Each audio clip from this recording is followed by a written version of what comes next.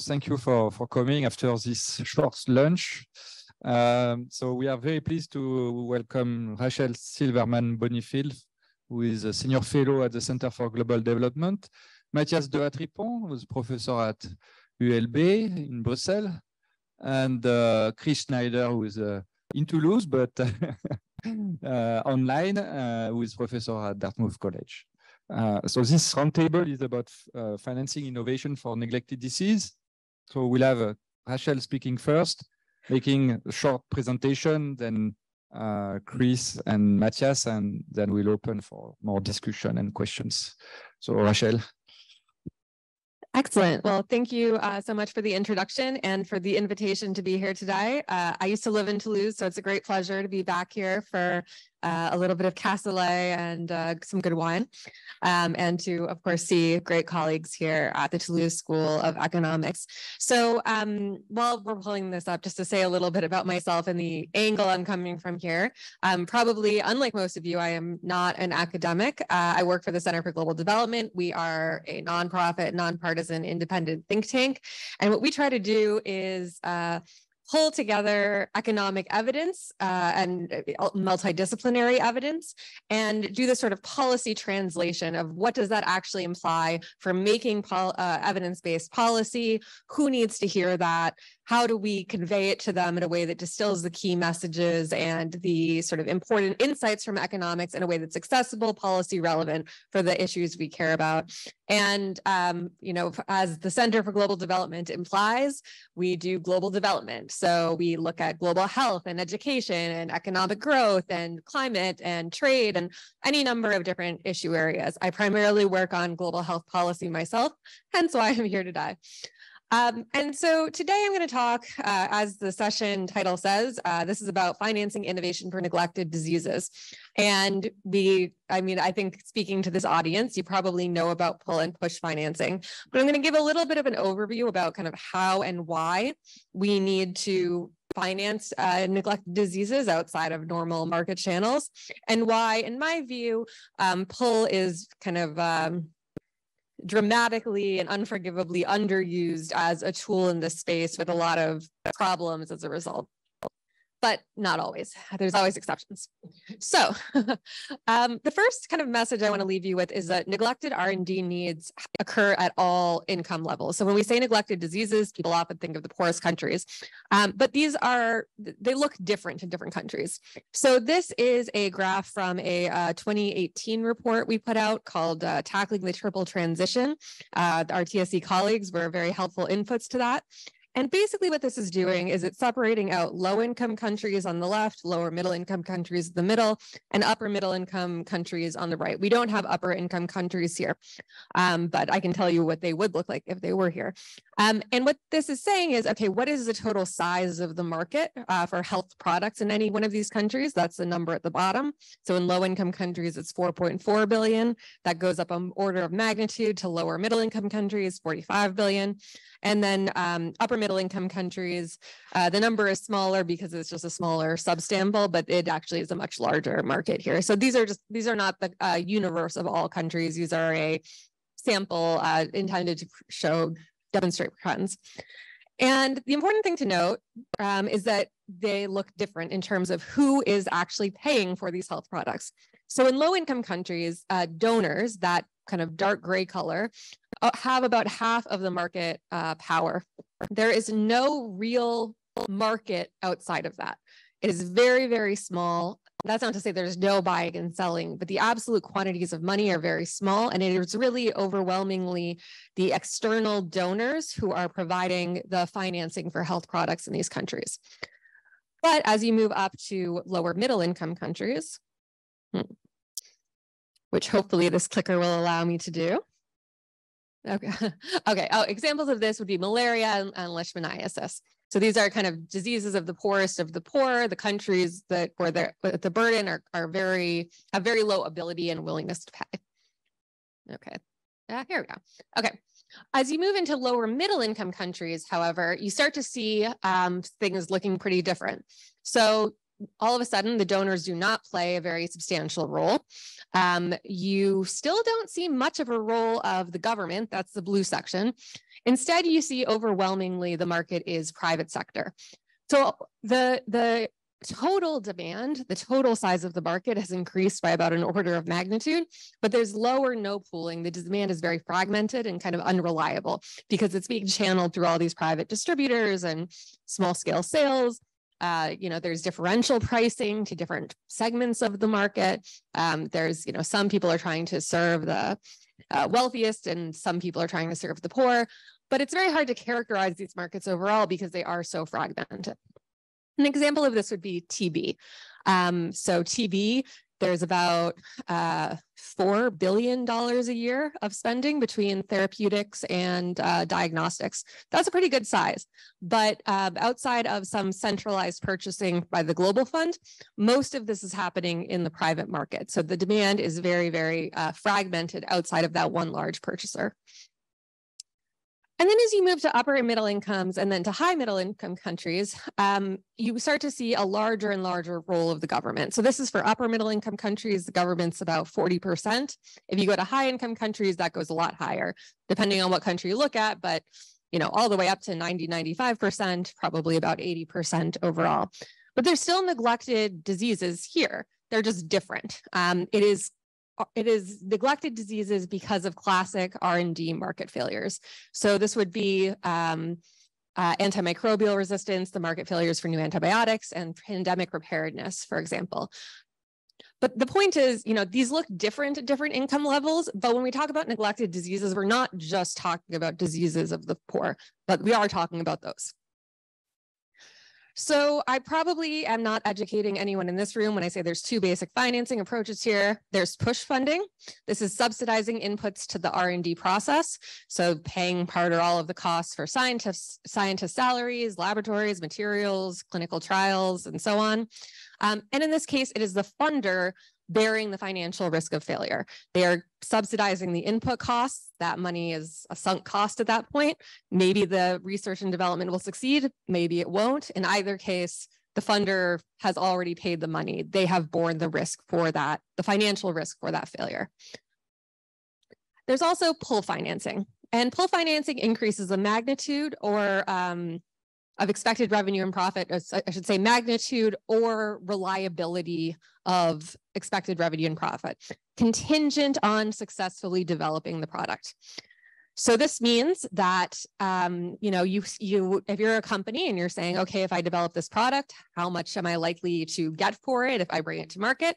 This is increasing that number or it's saying, well, I'm a company, I think there might be this amount, but I'm not sure. It's saying, okay, we're going to make sure it's that amount. Maybe it's not increasing it, but we're going to provide that guarantee, that predictability that allows you to then take the risk.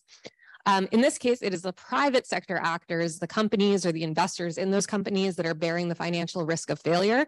Uh, the payer does not pay unless there is successful innovation.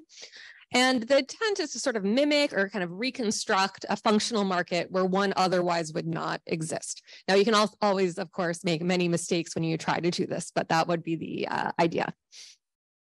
Oh, oh dear. Okay, hold on one second. Sorry. Ah, okay. That one. Okay. So there's several different types of pull uh, financing. So what there's first what I would call de facto pull financing, and this is what you see in standard markets, um, where essentially most private, uh, most research and development is conducted by private actors. They are driven by the promise of monopolistic pricing via patent exclusivity if and when they develop a successful innovation. They know that they will have that time limited monopoly. They will be able to charge monopolistic uh, prices. And if those the revenue uh, is sufficiently large from that promise, they will invest upfront in the R&D and they will be willing to bear that risk. Um, you could say this is a second category. You could say this is a subcategory of the first one. Um, and this is the payer policy and repeat game. So this would be a payer um, for example, um, the UK's National Health Service and their um, NICE, which is their uh, health technology assessment and price setting body, um, where the payers establish rules and reputations um, for rewarding innovation. So over time, doing this over and over again and creating kind of a track record of what you are willing to pay as a centralized payer, you are able to then convey to the market, okay, if you if you uh, produce this kind of innovation, you will be able to reap this kind of reward. Um, and maybe that's not super prescriptive in the sense of there might not be a specific target product profile, but there's a track record of uh, say rewarding an incremental disability adjusted life year at a certain price. Um, and then uh, the, the developers know that is likely to occur and they are respond to the incentives that are set by that. Um, then finally, there's what I would call pull mechanisms. So these are specific programs and instruments that are purpose built to incentivize specific types of innovation. And again, there's still lots of different categories here. There's advanced market commitments, prize mechanisms, market entry rewards, volume guarantees, subscription models, many others. Um, we'll hear more about advanced market commitments from Chris, who will go into those in great detail. But the idea is that this is not an ongoing process. This is sort of a standalone ind individual program designed to incentivize a very specifically narrowly uh, designed type of innovation. Now, for neglected diseases, the status quo is that most funding is push. And this is in contrast to typical R&D for pharmaceuticals, where we have a de facto pull model driven by the promise of future sales during that period of patent exclusivity. Um, this encompasses grants, product development partnerships, and so forth. It is primarily funding from governments and philanthropies. Um, the US alone spends about 135 billion per year. This is across all sectors, it's not just health, but on sort of push financing grants for various kinds of research and development. And it can be executed by any number of different actors. It can be universities, nonprofits, for-profit pharma companies, and so forth. But the point is that the funder is funding the inputs to the process. They are subsidizing directly the costs of research and development. So why is this a problem? Well, we see several different, you know, kind of challenges that we run headfirst into. The first is that it makes, it requires the funder, a government or a philanthropy, to pick winners. They're doing so under asymmetric information. They know less about the prospects of success, about how strong uh, a, a given implementer will be at actually creating the R&D than the kind of implementers who are applying for a grant. So they have a grant application process, they have a selection committee, but you know, at the end of the day, they don't really know. Um, it can be seen as an unjustified corporate subsidy, um, especially if it's going to a for-profit entity or a for-profit entity eventually commercializes the drug.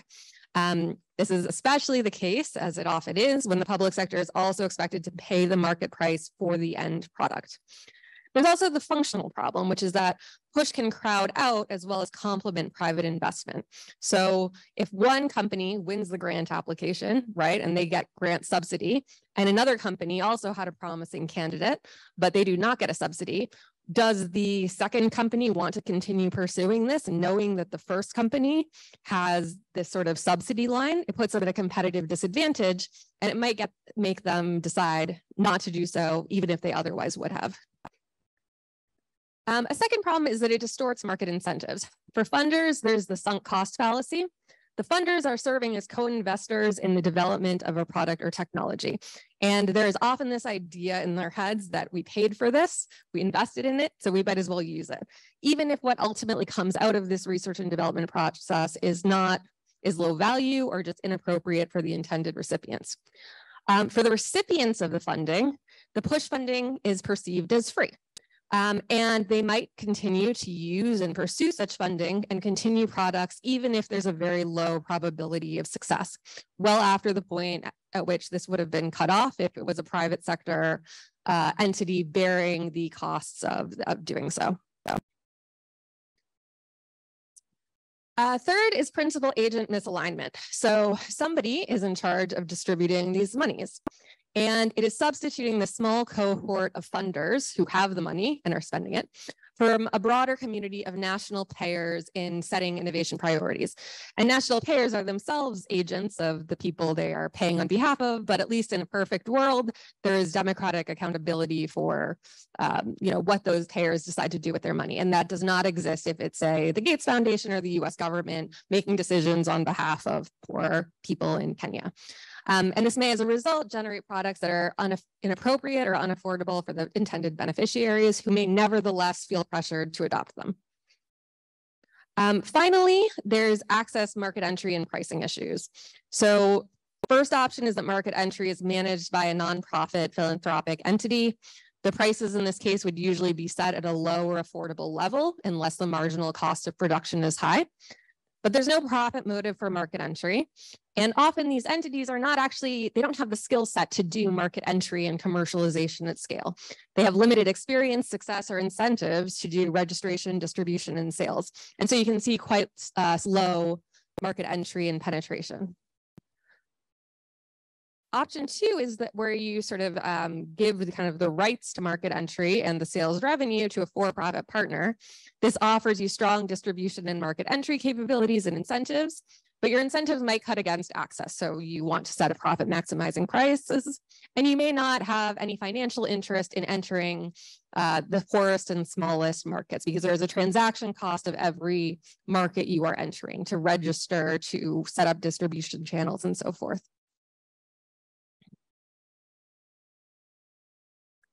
And what all this ends up is what we have termed uh, the product pileup, where you have donor funded innovations. Some of them never materialize, and some of them do, but nobody actually wants them or can afford to pay for them, or some combination of, the, of all of the above. Um, and in all of this, of course, there are continued real research and development needs that are not being met. Um, so what I would suggest is that pull as an alternative push can solve many of these problems under the right circumstances. So when a product is incentivized through pull mechanism, it it has a built-in purchaser. This reduces the product pileup because everything that is developed already has the purchaser in mind. There's already a payer who has said, I am willing to pay for this. I am willing to be the market for this. And that does not exist with push financing. It simulates market incentives and should drive efficient allocation of investments and decision making. A lot of this is contingent on design decisions, though, which I think Chris will talk about at length.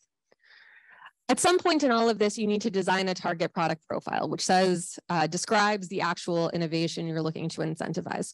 And this is an opportunity for upstream collaboration and inclusive decision-making and design. Um, it should reflect desirable, desirable characteristics of the product to make sure it's useful and viable among the target audiences. This shifts the risk of failure to the private sector and restores that kind of incentive to cut things off if they're not working and mitigate some of the risks from uh, the government picking winners. Now, of course, the government does literally pick a winner of whoever won the contest or, or so forth, but this is happening downstream once the results of R&D outcomes are already observable. Um, but that said, uh, pull mechanisms are not a panacea. There are situations in which they are not appropriate.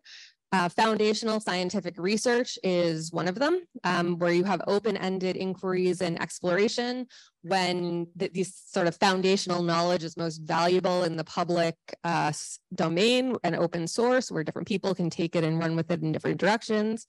Um, and where a successful end result cannot be described or anticipated in advance. If you want to have a pull mechanism, you need to know what you're trying to pull. And if you cannot describe it in advance because things are too open-ended, you can't do it.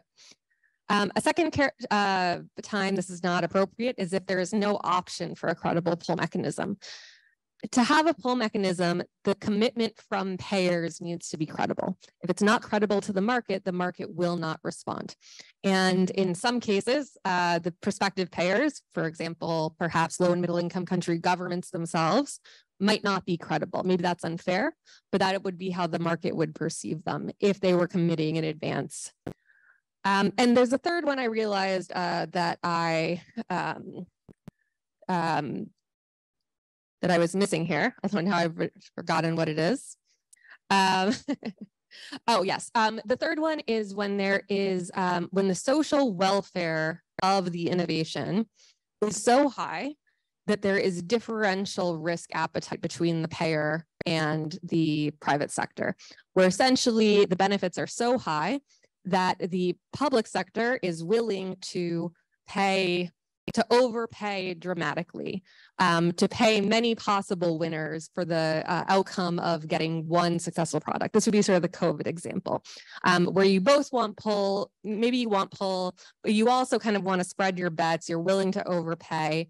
Um, in this case, it's not as cut and dry. Sometimes you still want pull as part of that, um, but it is a justification to fund additional push in addition to the pull. So I'll stop there. And I think uh, Chris is going to talk more about AMCs. Yeah, thank you, Rachel. So that's very interesting. And we are going to continue with Chris, who's going to talk more about mechanisms. So Chris, you can share your screen. Okay. Um, so can you, you see? 15 minutes maximum, Chris. Or if you can do less, that's better. Okay. Let's see if we can get the view here. Slides. Okay. Um, thank you very much. Can you can you can you hear me okay? Yeah. Okay. Well, um, Rachel, thank you very much for for setting this up. Uh, I'm going to be able to save a lot of time um, because she set this up so well. Um, so the the basic idea, oops, um, here is uh, the difficulty incentivizing investment in in uh, innovation. Uh, there are well-known issues with with traditional mechanisms, um, profits, patents, and, and prizes. Um, patents, for example, um, you know they they give um, some monopoly power to the to the winner, but um, you know that leads to high prices later on, and and there are only limited incentives. The social benefit from many of these innovations are higher than the um, what the firm is receiving from the profits, even if they're making monopoly profits. Um, prizes, you know, how do you know how big of a prize to set? And typically they're sort of such low amounts anyway that they provide only hobbyist incentives. Um, the, the shortcomings of any of these um, mechanisms become just all the more pronounced when you're thinking about neglected uh, diseases. Uh, and, and, here I'm going to be talking about products serving poor countries. Wow. So there's um, you know profits. Well, there's low revenue potential in, in these markets because people just don't have the income available to, to pay. So their willingness and ability to pay is just very low. Um, so what happens in these cases is often donors will step in. Rachel showed the um, the fractions there, especially in the lowest income countries. Um, so donors step in and do the procurement um, because, you know, for altruistic or whatever purposes, they step in. Well, the trouble there then is that, um, you know, a patent's not going to do very much if you're essentially engaging in bilateral bargaining with a, a monopoly buyer, um, maybe UNICEF or uh, the WHO or Gavi. Um, so just to take some examples in the vaccine market, you see cases where there'll be um, vaccines that are developed in rich countries and it'll take years and years and years, decades to um, to diffuse into poor countries. In the case of rotavirus or hepatitis B, and also the, just the case that there um, we lack new products for dis diseases specifically of poor countries, um, malaria and uh, HIV. So um, actually, the the Center for Global Development was um, just a, a big um, um, with with uh, a proponent and, and advocate here of this um, mechanism called an advanced market commitment, which Ra Rachel referred to, and I'll talk about in detail for the rest of this talk. um, there, there's some actually Center for Global Development reports. There's this book by um, Michael Kremer and Rachel Glennerster called Strong Medicine in 2004. And um, it basically laid out the idea behind these advanced market commitments and advocated their use for um, for incentivizing vaccines for neglected diseases. Um, I'll, I'll, get into the, the details um, in a minute, but um, here are some of the uh, design features and advantages. So it's a policy that commits to providing a, a top-up subsidy um, on top of some regular payment. Um, and it's committed to potentially far in advance of investment and potentially success. Um, so that we're we're thinking about the investments needed are, are going to be the research and development, and maybe also capacity. If you're thinking about, say, building the facilities that are going to produce these vaccines at scale. And if you know anything about vaccines, uh, vaccine capacity is quite expensive and, and complicated. So the um, advantage of committing to these subsidies far in advance is basically it's going to solve a holdup problem where the if it's going to be a unitary government or um, NGO or, or other donor that's going to be the counterparty at the end, you can imagine that when they sit down at the bargaining table to decide on the price, the buyer is going to say, well, I really have a limited budget. You know, tell me how much it costs to produce and, and maybe I'll cover that. Well, if that's what the firm expects, the, the investing firm, they're not going to have very strong incentives to invest in the R&D and capacity. Um, all of these, these fixed and sunk costs um, over and above any production cost. So committing in advance to a subsidy on top of, say, uh, uh, the production cost as, as, a way to help avoid this holdup problem. Um, the, the subsidy is a top up to um, a tail price in a country co-payment. Um, so the tail price is this agreed upon price that the uh, the companies, the, the producers agree to um, as sort of an exchange for um, agreeing to receive the subsidy, they agree to keep the price low for some uh, fixed period after the subsidy fund runs out. Uh, and so the the advanced market commitment, first of all, during the actual subsidy period, is already committing to buying usually a, a large amount, and this this tail price keeps uh, constraint keeps the prices low in the period afterwards. That's going to avoid some of the deadweight loss um, from high prices potentially, and um, can lead to larger access. There's payments for results here. It's it's a, a pull funding mechanism that avoids uh, the problem that um, you invested all this money um, as, as a government or a funder and, and you have no you don't have the success so it's kind of avoids a political economy problem. And it also as, as rachel said very well avoids moral hazard and adverse selection problems. You avoid you know fly by night entrance and you avoid um, entrants who kind of keep with a project even if its pro prospects for success aren't aren't very high. The the co-payments I'll get into this in a little bit, but the, the co-payments um, that say the market participants pay, um, you don't necessarily want them to be so high that say these are uh, co-payments that the health systems in, poor countries have to kick in. Um, if, if they're very high, then that's going to limit access. But if they're if they're um, moderate or, or reasonable, this does provide some kind of a market test. That's a market piece of this advanced market commitment. Um, so the end user is going to have to kick in some payment. They're going to think about the value to them, and if it's not sufficiently valuable, um, they're they're going to avoid buying it, and so then the firm receives no reward there. So anticipating that, the firm is going to want to produce things that the end buyers want, and so this mitigates an incomplete contracts problem where it might be really hard to specify, even with a very um, well laid out uh, target product profile, everything that you want in, in this vaccine or whatever product we're talking about. Um, but it might be really hard to get all of those features right. Um, you might miss something. For example, you might have missed the fact that um, you'd like this vaccine, say, to um, be robust, to it not need a, a very uh, cold chain capacity or something that doesn't exist in um, low income countries and makes it hard to distribute. Maybe you forgot to include that in the target product profile. And so that would be an, an incomplete contracts problem. And, and, the firm, having received an award either way, would go for the easiest solution and maybe one that um, wouldn't have thought about that. But if, if you care about selling it and distributing it in low income countries where chain capacity isn't that widespread, you might think about the design of the vaccine. Chris, I have a clarification question. Sure. Um, if you can also speak very well in front of the microphone, uh, because sometimes we have difficulties listening to you. Um, oh, sorry. Yeah, I think my internet is going in and out yeah. too. But...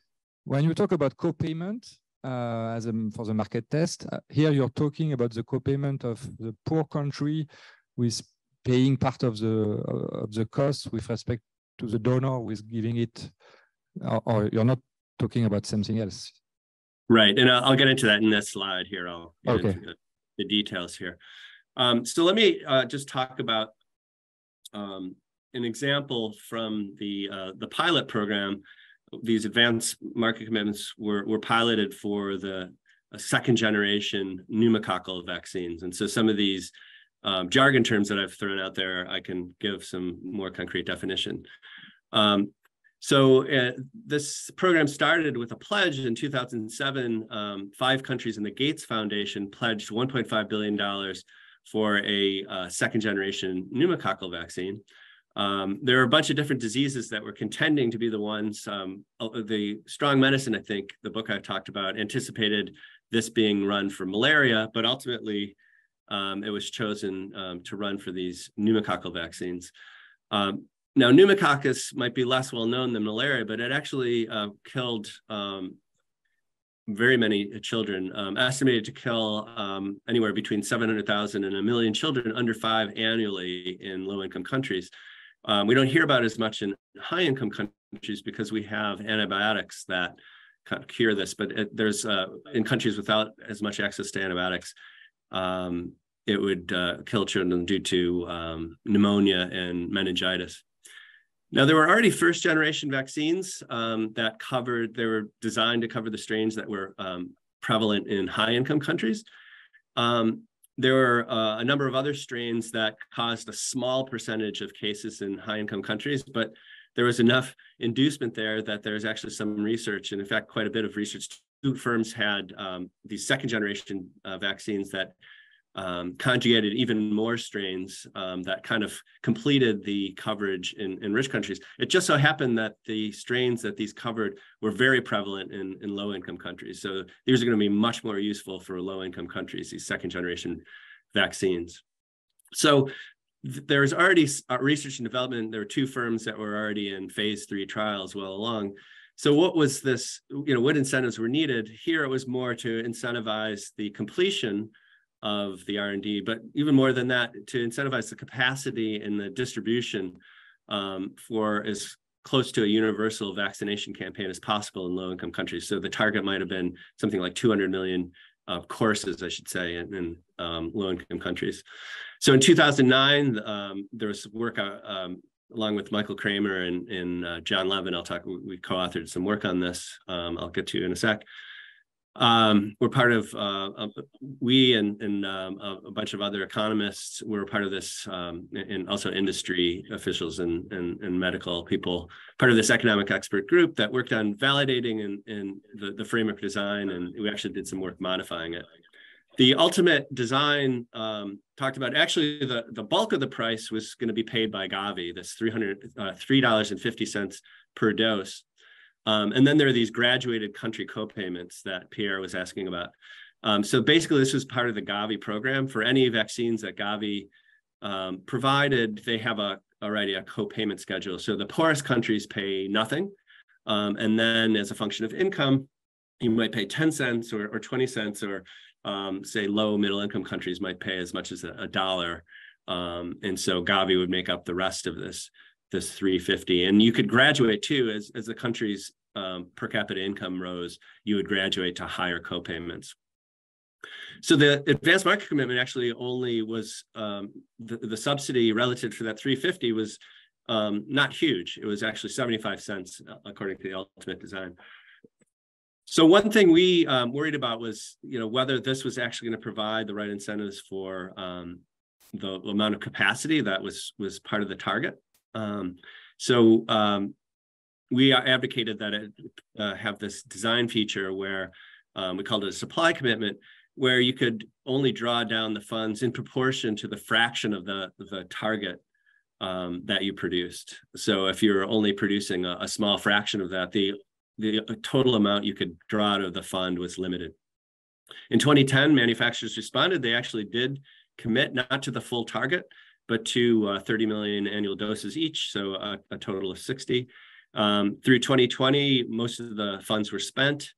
Um, the prices actually fell, so they were agreeing to lower uh, tail prices. Serum Institute came in, um, and as we'll see in the next um, picture here, um, what you some program evaluations that we did. I mean, in a sense, if you throw 1.5 billion dollars at a problem, you expect to get something for it. In fact, much more money than that was thrown. If you think about the Gavi contribution. When you add that in, it was something like more, the program spent five or six billion dollars in total. Um, so if you spend five or six billion dollars um, on a disease, you expect something for your money. Um, the, the question is, was the uh, design of the advanced market commitment uh, contributing to this success? So what we do in this, this figure is compare um, the uh, expansion of coverage relative to coverage in high income countries for pneumococcal disease in blue compared to that for rotavirus, which has actually received similar support from Gavi, but wasn't structured as an advanced market commitment. And the graph shows that the rollout of pneumococcus was about five years faster.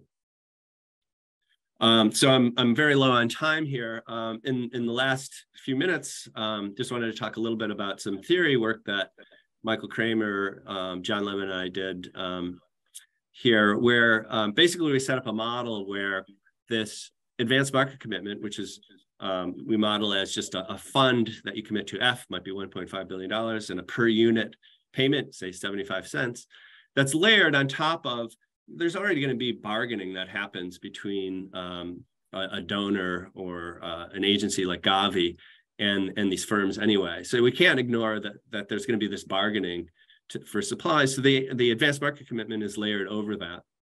And one of the subtle issues here is that you know what how does this really um, sweeten the pot? We we think that you know, through this bargaining, they might just sort of, you know, it's like shifting money from one pocket to the other um, for the donor. And is that really going to make them, um, you know, maybe they'll just take that subsidy into account and actually provide less of a payment, um, um less of a payment in the in the bargaining. So just basically, um, it'll there'll be crowd out there. And in fact, if you don't design it correctly, that's that's certainly a possibility. So it turns out if you're trying to incentivize capacity, um, the, the shape of, of the contract matters and these design features matter. Um, and so some of this theory actually supported the recommendation um, that you you may not get um, good incentives from the framework design, but the supply commitment design that we suggested might have been better. Um, another issue is that this uh, is, and this is the last point I'll make, technological distance may matter. Um, so the pneumococcal advanced market commitment was run for these what you could call technologically close products. They were pretty far along in their R&D. Um, and so there, there was really just trying to incentivize capacity investment. Um, but you know that's not the only thing it could be used for. Malaria would have been another target, and um, it turns out that the the design principles might be slightly different for incentivizing a distant product, where you also have to incentivize research and, and development. Um, and of course, research and development is expensive, and so that's going to require rich subsidies. But the the asymmetric information problem might be less for these very uh, technologically distant products, because the firms may have just as little uh, information about what it's going to cost to produce as the donor. Um, it's only later on where the firms will know very well what their um, production and capacity costs, but but governments um, governments won't. Um, and the other issue is that um, with a, a, very technologically distant product, it's going to be really hard to um, design a complete technological um, technical product profile. So having these country co-payments as a kill switch might help incentivize proper um, product design. And let me stop there. Thank, you. Um, Mathias, Mathias is going to um, kind of introduce the discussion, maybe have some uh, more thoughts. Uh, Mathias, if you want to share your slides, you can. And you have to unmute.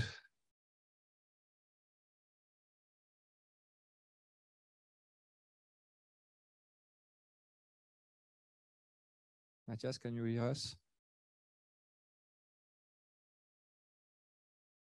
Yes. Uh, hello, hello.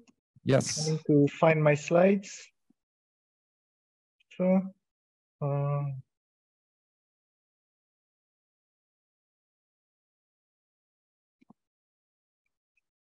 Is it okay? Yeah, we see the reference, yes. Okay. Um, and so you hear me? Yes. Okay, well, thank you. Thank you very much for uh, this invitation. Uh, my apologies for not being there uh, physically. Um, now, let me uh, make my presentation, which will be complementary to the very nice presentations by uh, Rachel and Chris, since I will focus on rare diseases in the EU. Uh, this is based on joint work with Alain Fischer and Michel Goldman, who are both medical doctors. Alain Fischer is one of the fathers of uh, gene therapies. He was a professor at Collège de France, and he was also appointed by President Macron as the uh, COVID uh, vaccination uh, person uh, in France. and Michel founded our institute at ULB for interdisciplinary innovation in, in healthcare. Um, so what I will talk about uh, here is indeed, as I say, rare diseases. And uh, I will stress the fact that uh, high prices for uh, rare disease therapies uh, are becoming a big uh, policy headache. progress of science is great because it opens up new promising areas, but they can be very costly. and so we'll discuss this a bit. And so we will try and make two points uh, in terms of trying to uh, kind of uh, limit the problem. First, we will argue that it uh, is worth considering asking pharma companies to set up uh, benefit corporation divisions for their rare disease business, tasked to pursue reasonable prices for their innovation therapies. Uh, that's point number one. And point number two, based on uh, what happened in the in the COVID-19, uh, to uh, suggest that the EU could play a more active role uh, in terms of the purchase and the organization of the rare disease therapies market. So first of all, a couple of uh, points from the medical area. here are a couple of uh, examples of uh, rare disease therapies and uh, some uh, market prices. So for one injection, uh, which can cure you uh, still, but it's, it can go up to 2.8 million dollars. Now you can say these are very rare rare uh, diseases. So maybe a lot of money times a very low number, that's still okay. Uh, when you look at uh, what people say in the area. And for example, there is this paper by uh, Hans-Georg Eichler and co-authors, and Hans-Georg was the chief medical officer of the European Medicines Agency, so a very well-respected person. Uh, in that paper, well, he stresses that uh, well, rare diseases affect uh, in total around 6% of the EU population. They are currently a profitable business for industry. 50% of new marketing authorization in the EU are about uh, rare diseases. So this is not antibiotics or vaccines or treatment for poor countries. Uh, there is a lot of action. On the other hand, although patient population for each disease is very small, costs already add up. In fact, in Austria, for example, which is the, the country of Hans-Georg Eichler, but a very similar country from uh, from ours. Uh, already 8% of the, the drug budget is for rare diseases. And we are talking about an area where 90% of rare diseases still have no treatment. So we are talking about treatment for 10% of 8, 6% of the people, so 0.6% of the population, and we are already at 8% of the drug budget. So uh, now, among the things that in the medical area they mention are uh, transparency on costs, uh, sharing uh, information across rare diseases to help platforms, so synergies. Uh, the EU uh, Commission is uh, worried about this. They've come up with an improved affordability strategy, enhancing competition, working with national authorities to exchange information, uh, and uh, indeed do synergies, enhancing transparency and these kind of. All these things that we economists understand. Uh, our feeling is that um, it might be helpful to get the private sector to help. And by private sector, I mean, um, you know, I don't like uh, to criticize big pharma because, you know, big pharma, you have uh, lots of people there working for the common good inside these companies. Uh, the problem is more the fact that, as we know, all over the economy, for the last decades, uh, shareholder primacy, shareholder value has become really dominant. This was, for example, already documented very well, for example, in this paper by Bengt Holmström and Steve Kaplan. Uh, and in fact, uh, I think it's particularly important in some sectors where they earn a lot of money, Uh, there is a paper by uh, Andrew Lo and some co-authors, uh, Thakor and others. So Andrew Lo is a pretty well-established finance professor at MIT, and uh, he documents that the uh, while biotech firms don't beat the market, big pharma companies beat the market in uh, risk-adjusted return by 3% every year. Now, Pfizer markets, uh, market cap is two, 200 billion, 3% of that is 6 billion. And uh, so basically, uh, I think it would make sense, given that public budgets uh, are, are not unending with aging, with with uh, the cost of climate change, all these kinds of things. Our feeling is that it would be good to uh, ask indeed uh, some pharma companies to have uh, uh, either to put common good advocates on the board of these companies, uh, like people like Bill Gates saying, look, you know, profit is one thing, but what about the common good?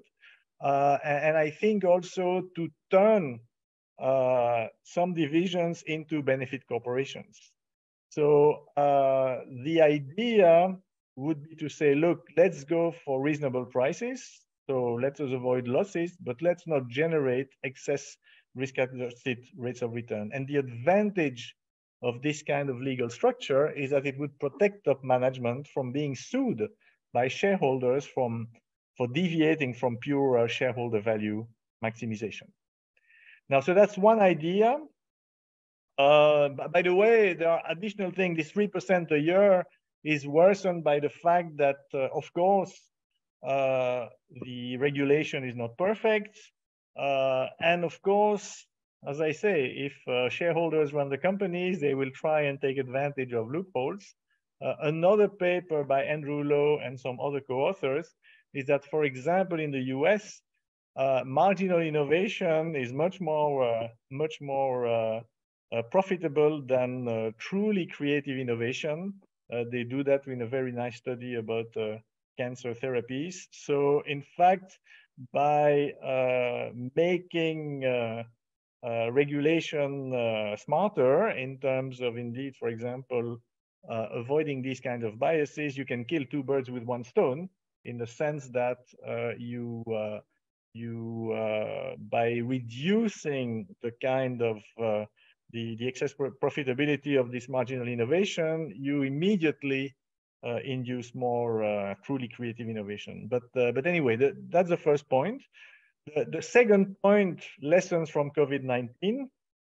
Now, and I saw that Rachel had a paper uh, suggesting that uh, we should uh, build on the successes of the Operation Warp Speed in order to to have more innovation in in uh, a number of these areas. Uh, I think it is quite clear that although the Trump administration didn't do everything right, as we know on COVID management, uh, they, uh, with BARDA, their biomedical uh, uh, advanced research and development authority, and their Operation Warp Speed, they managed to to really push innovation in in COVID vaccines let me stress the fact, and I think it's also helpful on this uh, debate about push and pull and all these kind of things. Um, I think it's a very, very good example of smart uh, um, industrial policy. So, and by smart industrial policy, I would argue that it's uh, not just picking winners, but uh, picking a set of potential winners and making sure that there is enough uh, competition among them. So basically, they concentrated funding on six projects.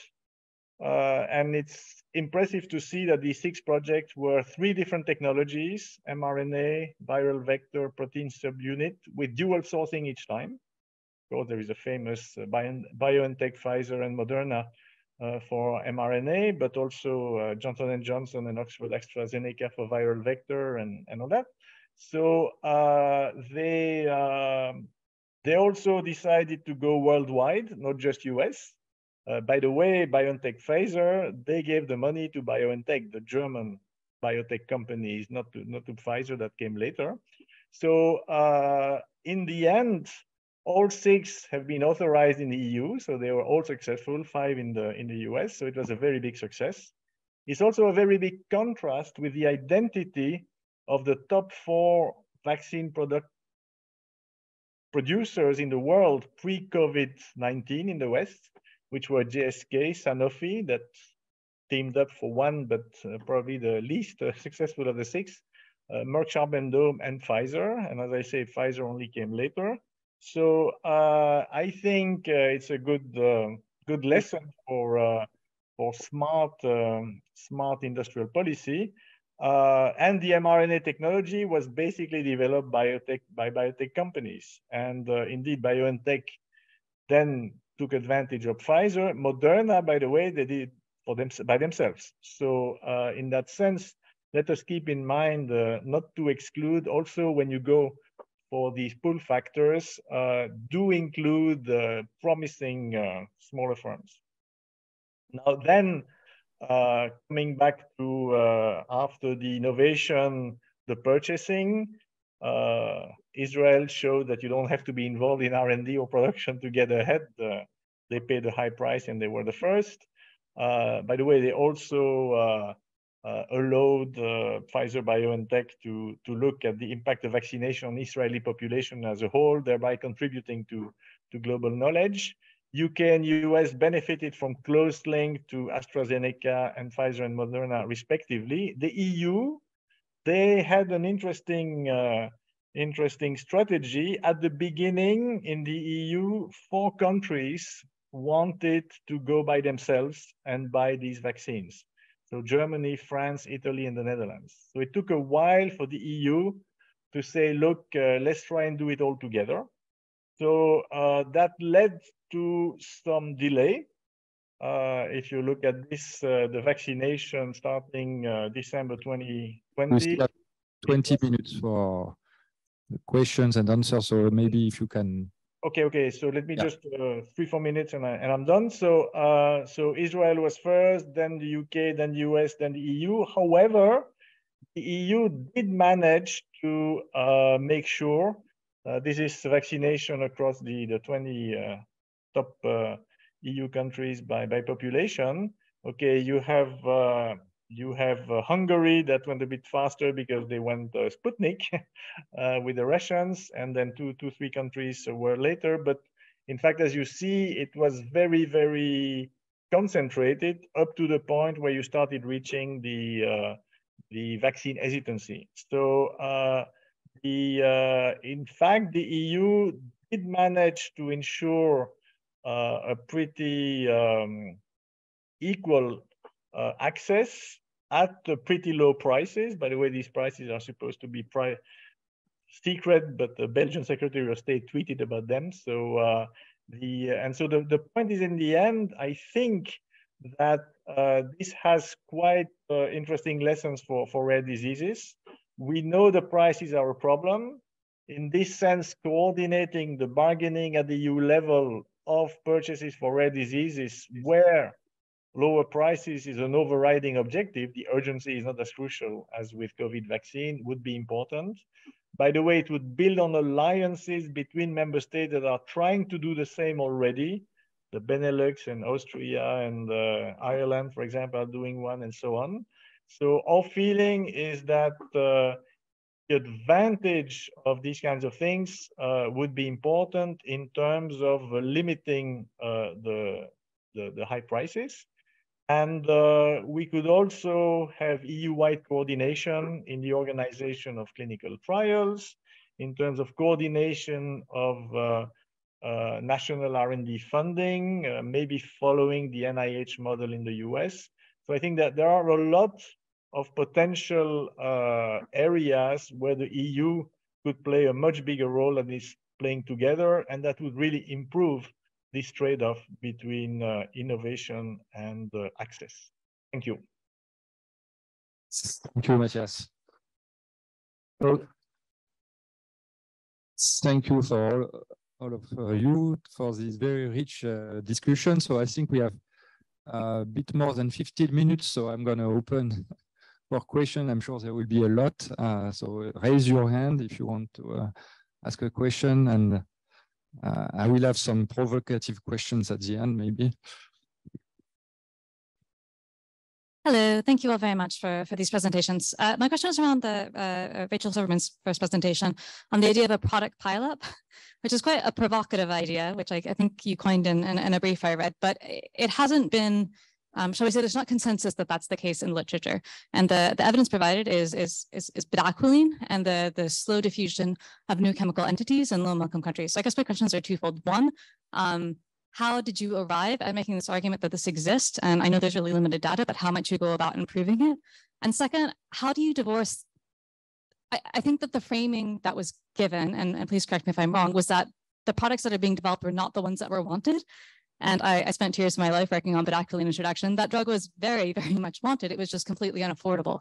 And so separating you know, innovation for kinds of drugs we want versus kinds of drugs that we want that we can afford are two very, very different things. And so if we're arguing for a relative emphasis on pull versus push mechanisms, we also have to think about whether push or pull um, entry points would allow us greater possibility and, and, and leverage to, to insert those kinds of access provisos. And I'm, I'm not persuaded that pull versus push would, would, would get that entry. So thank you very much.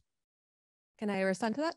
Yeah. So I, I was not thinking of bedaquiline as the uh, case study of that. So the two uh, sort of I ones I have in mind when I make that point, and I, I do think there are others, but the two I have in mind are RTSS, uh, the first malaria vaccine that had something like a 30 to 40% uh, efficacy rate, but required four doses and you know very marginal about whether this was a sort of good use of funds and a lot of pressure from donors for countries to adopt it. Now ultimately it looks like we now have a much better malaria vaccine so it looks like that's been preempted by events.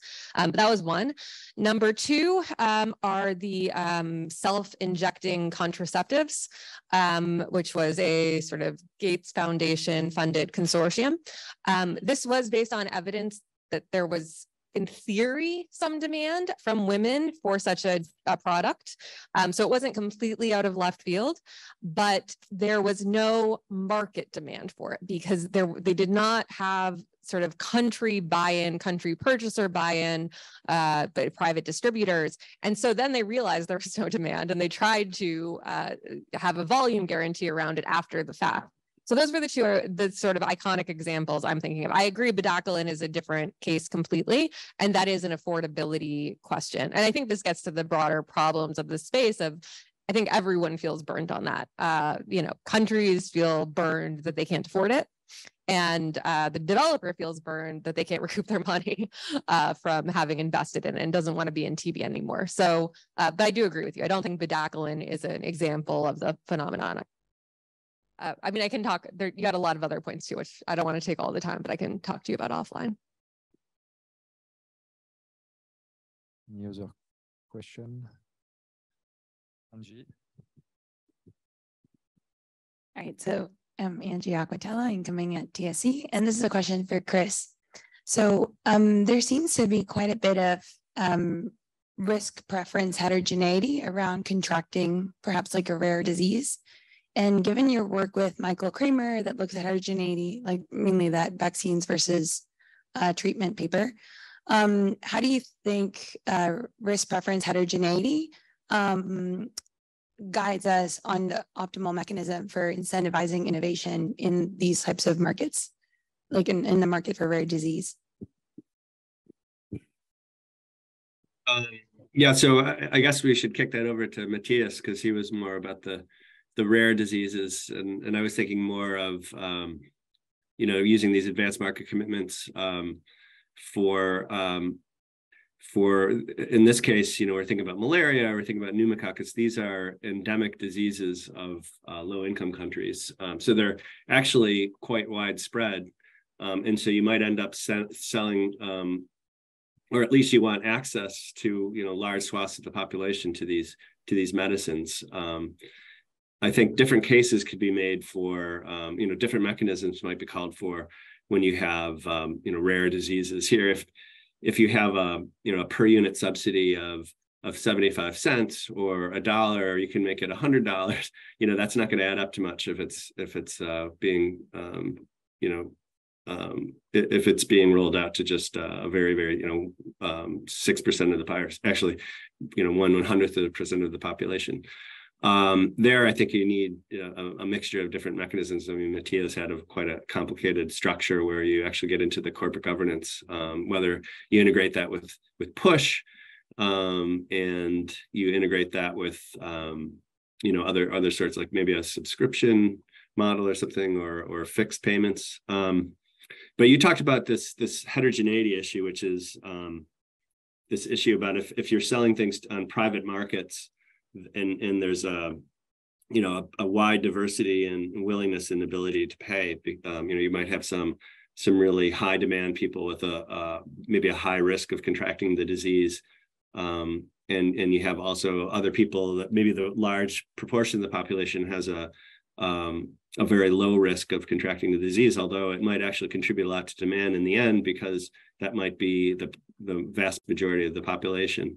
Um, so that just any kind of pr product, whether it's a vaccine or um, a, medicine or, or, anything where you have this um, very uh, asymmetric risk uh, or demand distribution, it's going to be really hard to price the product to um, make it lucrative for producers. So there, um, one um, point to make there is just if you have a market where you have a lot of heterogeneity in, in risk or in willingness to pay, whatever the source of that, um, that might be an argument for government support in those uh, particular cases. Uh, I don't think it's it necessarily has it, it, when you're talking about um, diseases of low-income countries, when you have donors that are buying these products on behalf of the population or um, or the country health ministries, um, in a sense, they can buy in bulk for the for the country and so they can kind of integrate over the risk distribution. So it, it may not be that much of a concern.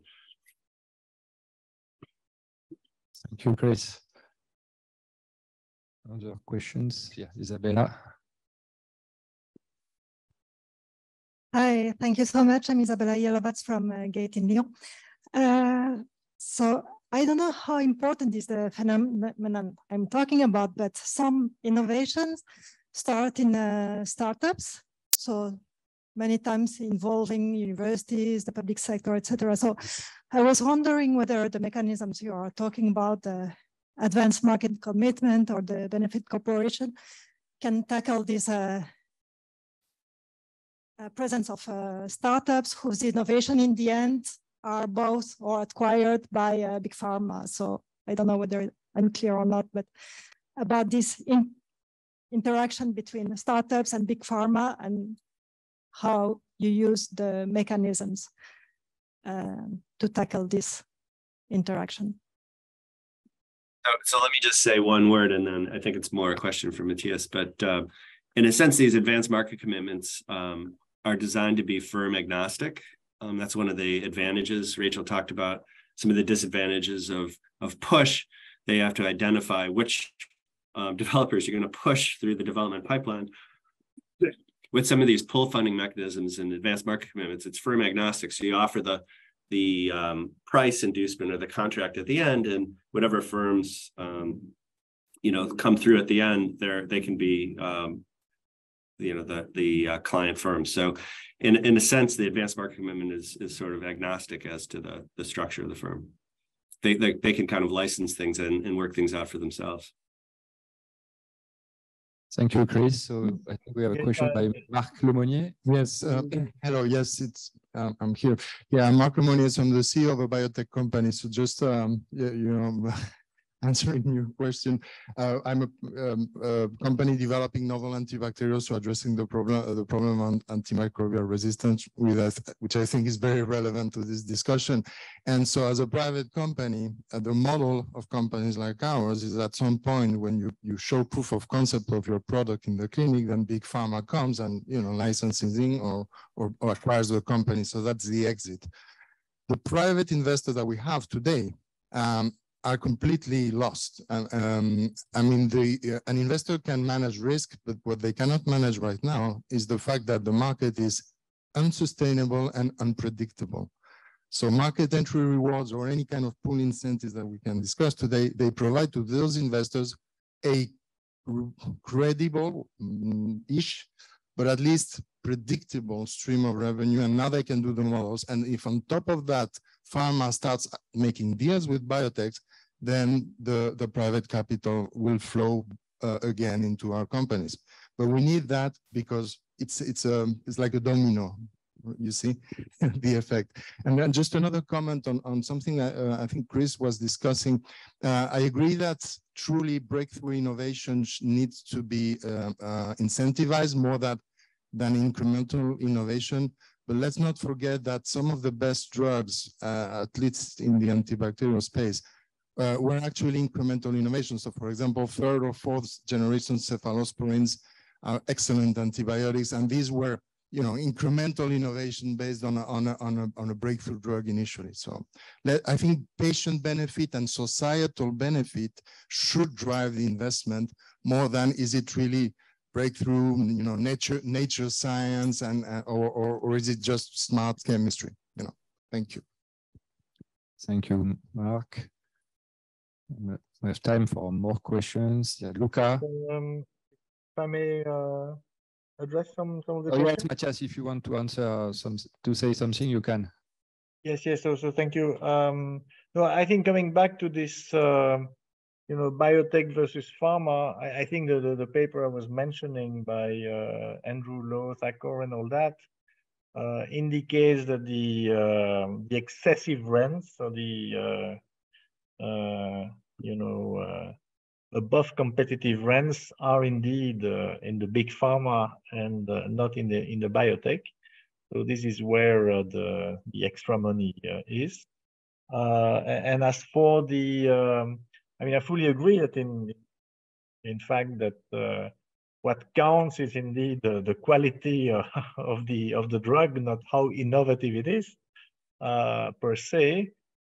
this being said, I think that this this other paper I was referring to by Andrew Lo, uh, Fojo, and others, they do a very clever study of uh, cancer drugs, and they look at, uh, you know, the, the Food and Drug Administration. They have a, um, they first of all they they think about uh, the efficacy of the drug in terms of how much it can prolong life, and uh, they for the uh, the promising ones they give them a, a fast track treatment, and so they they compared the, the return of fast track and non-fast track. And it turned out that the non-fast track is much more uh, profitable than the fast track, which uh, is uh, is unfortunate because indeed that means that uh, too much of the activity is guided because of profit reason towards the, the less ambitious uh, less ambitious drugs.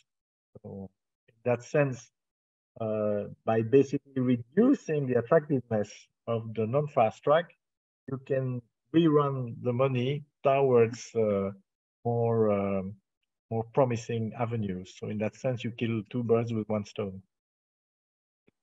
Thank you. Matthias, maybe a short question on this. Do, you remember if the abnormal positive return of the big pharma are compensated by the abnormal negative return of uh, the biotech? Um, good question. I just a transfer, you know, from some small firms to big firms.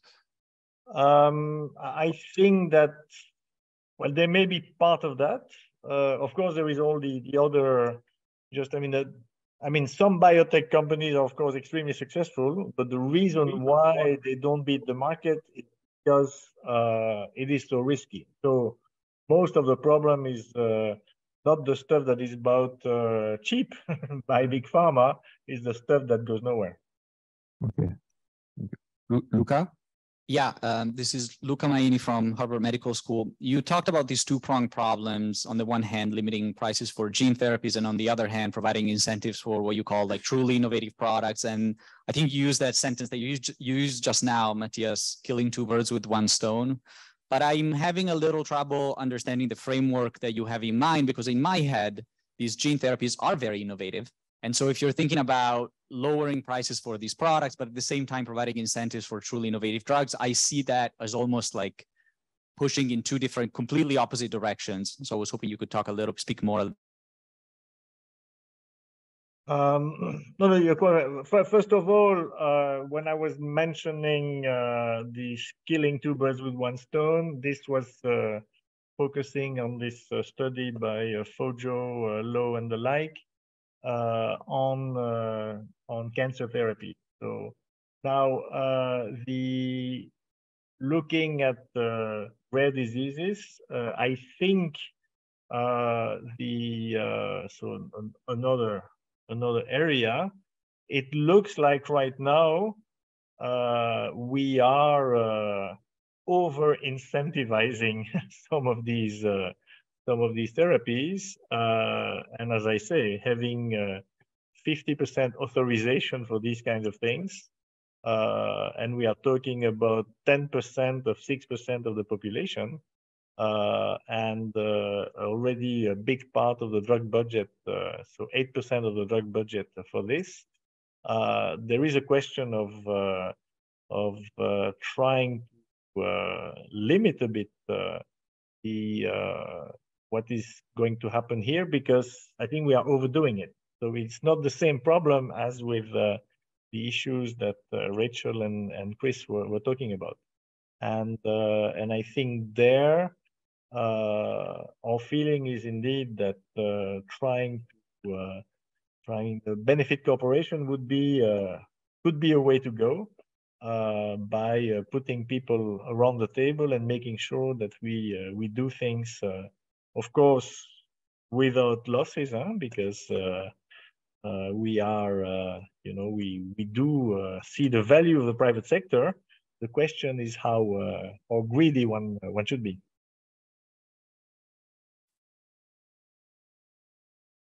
Sorry, thank you, Mathias. Maybe the, I, I, take the last question because we are running out of time. And uh, if you can uh, say whether you have any any thoughts on this very quickly. I was wondering whether how you can imagine that advanced market commitment could eventually solve the international free riding problem when it's a question of innovating into a public good.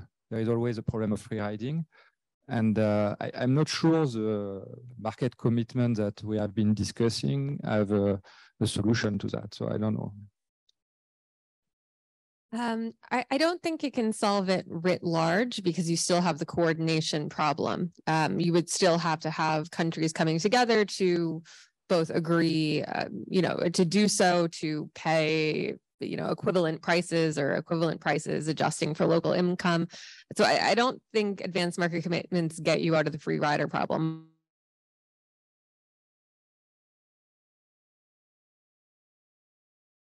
facilitate some limited collaboration. So for example, we have a paper out recently uh, looking at um, could the G7 as a grouping collectively finance new antibiotics through uh, sort of proportionate contributions to kind of a, a pull mechanism. Each of these would be sort of financed by the countries themselves there's no binding nature to it, right? It would have to be just based on goodwill and contribution to the problem. But maybe as a sort of coordinated movement, this would be a way to get different countries paying it. I mean, I think we also did the math on it, and it looks like it's very high return on investment. So it should be the kind of thing that everybody is willing to fund a uh, small part of. But you know, we'll see. It's free rider problem's a hard one to solve. So we'll find we'll find out eventually. Thank you. Any concluding words, uh, Chris or Mathias?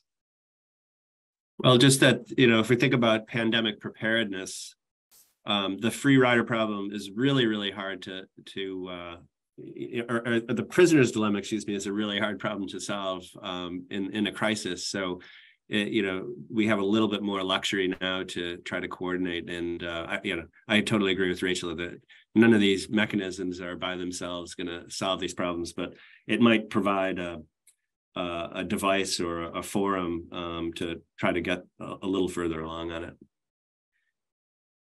Thank you. Well, thank you all for this uh, interesting discussion. Mathias, do you want to say add something?